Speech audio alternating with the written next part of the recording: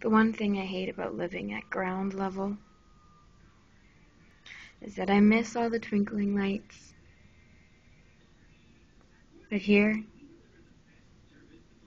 no matter what happens at the end of the day, I got a thousand twinkling lights.